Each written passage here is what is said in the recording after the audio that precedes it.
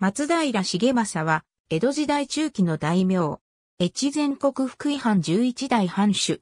下には、14以上、左近衛県少将、越前守る。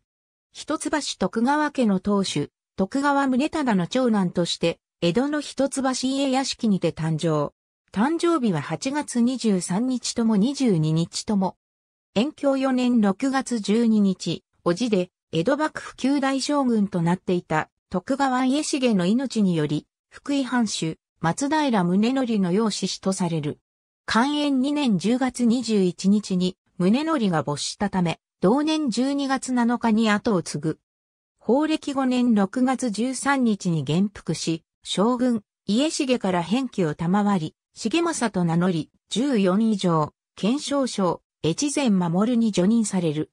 法暦8年3月18日に16歳で、溶接したため、実定の重富が3月21日に、養子氏となり継いだ。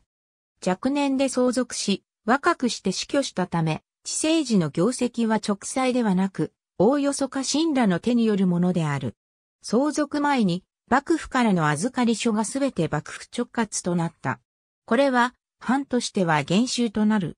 さらに地域を天候不順が襲い、領民の調産が多く、藩は困窮する領民に米を貸し出している。また、洪水や津波、凶作などの天候不順に見舞われている。法暦6年中には、他国省為替銀貸付会所を設立している。